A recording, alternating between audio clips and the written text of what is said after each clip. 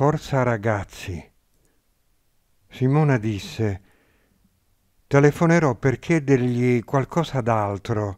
Non è un'immagine che mi piace per la squadra. Io passai all'altro foglietto. Il cardinale? Il cardinale dice che non vuole che la squadra di pallacanestro si chiami Forza Ragazzi, disse Simona. Siccome la nostra è una scuola confessionale, vuole un nome che abbia una risonanza religiosa. Chiama il cardinale, per favore, dissi. Entrai frettolosamente nel mio ufficio.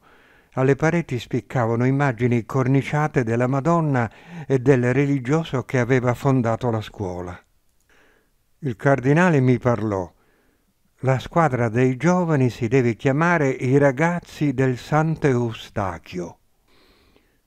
Eminenza, i giovani sono interessati di meno alla religione tradizionale, risposi.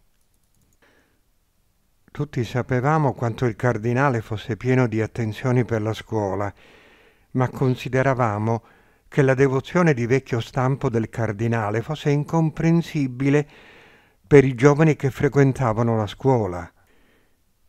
Lei deve stare in linea, mi avvertì il cardinale. Eminenza, lo sono, ma sinceramente credo che la religione adesso debba essere una proiezione e non più un'incorporazione della divinità. Per l'incorporazione inizia a pensarci il singolo individuo. Il cardinale non nascose un sospiro di molestia. Direttore, lei faccia quello che deve fare. Al resto pensa il Santo Padre. Eminenza, lei non pensa che così rischiate di esaurire la vostra funzione?